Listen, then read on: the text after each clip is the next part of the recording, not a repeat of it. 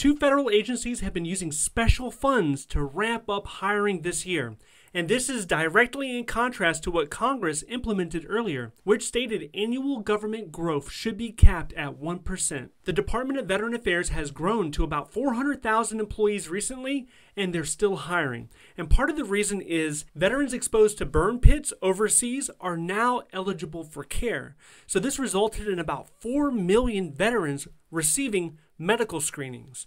And the burn pits, you probably heard about it, it's from Iraq, Afghanistan, Vietnam, all these different locations. And every veteran enrolled in VA healthcare, they're eligible and they should receive a screening.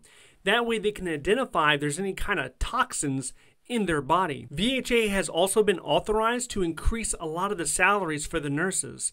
The salary cap went up to about $203,000 a year, which is a lot more than the GS pay scale. If you look at the GS pay scale right now in a large metropolitan area, that thing tops out at $183,000 a year. But VHA is able to give their nurses a higher salary. And also, if you look at some of their doctors, some of their physicians, it's over four hundred thousand dollars a year. Now these are these are specialty doctors, but they're able to increase that that pay scale a lot more. The VA also increased their cap when it comes to bonuses.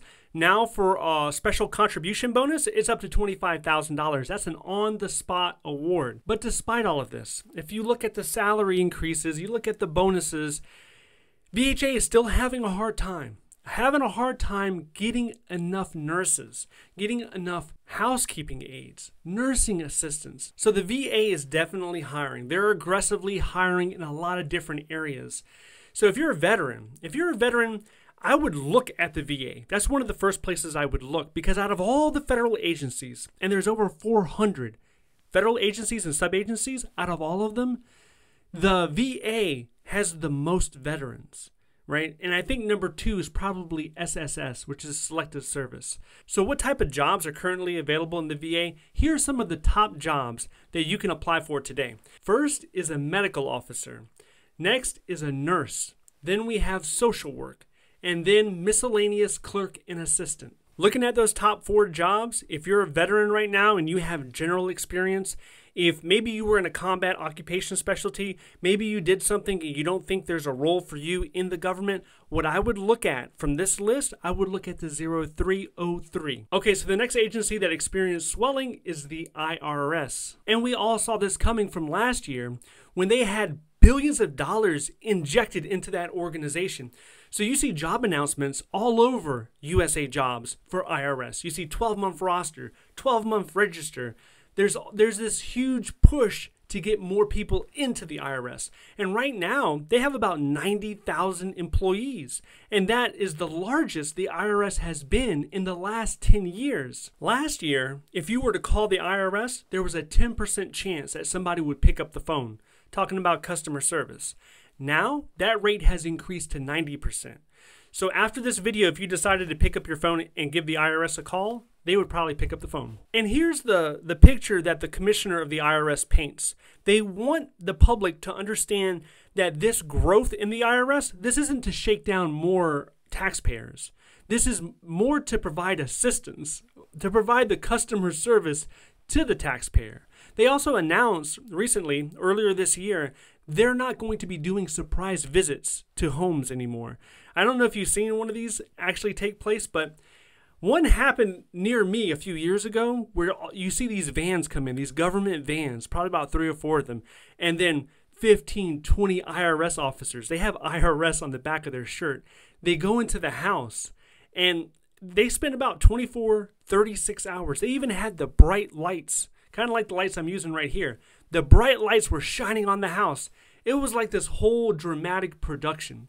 Well, it looks like they're going to be moving away from that. I don't know if you know this, but a few years ago, the IRS attrition rate was horrible.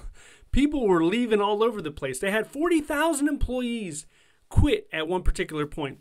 And they introduced this new incentive. This new incentive increased pay from 10 to 20, 25%, depending on what role that you held. It also authorized the IRS to give retention pay for people that were more likely to leave. I don't know how they judged if somebody was likely to leave or not, but they did authorize retention pay. Obviously, the IRS is still hiring, and the OPM has actually granted it expedited hiring authority through 2027. All right, so let's look at the top four jobs that you can start applying to right now in the IRS. Number one is information technology management. Number two is the Internal Revenue Agent. Number three is Management and Program Analyst. And number four is Tax Examining. Like I mentioned, a lot of these job announcements, they're on the 12 month roster. This means you apply one time and you're considered multiple times throughout that 12 month period. So you could potentially apply once and be considered 12 different times without having to apply any more times. So definitely take advantage of that if you see those positions. If you see that the specialized experience in the job announcement, if it matches your experience, it matches your qualifications, apply to those job announcements. Both of these agencies have also been doing a lot of hiring events lately, and you can attend no matter where you're at in the world. They're virtual hiring events. And you can usually find out about them by going to USA Jobs and scrolling all the way down. They have a list of hiring events. But not every agency reports it to usajobs.gov. Sometimes they leave it off. So, what I've been doing is I've been consolidating, I've been collecting these hiring events, and I send them out through email once a month. And if you would like me to email that to you, then sign up for my free newsletter down below. If you are still looking for a government job, you might have some questions about the federal hiring process. I did a live stream recently. I answered over a dozen questions about the federal hiring process. And if you're interested in that, I want you to watch this video next. If you would like to see more videos like this, please click like and subscribe. Thank you so much for watching, and I'll see you in the next one.